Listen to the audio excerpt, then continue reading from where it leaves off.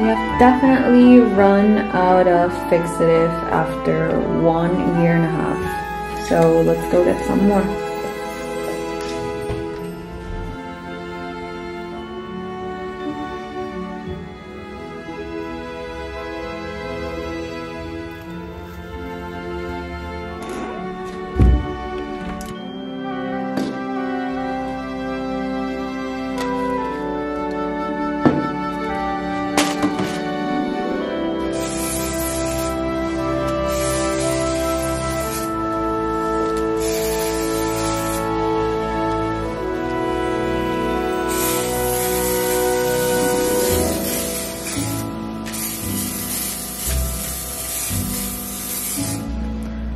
Okay, so right now we have two layers of Indian ink.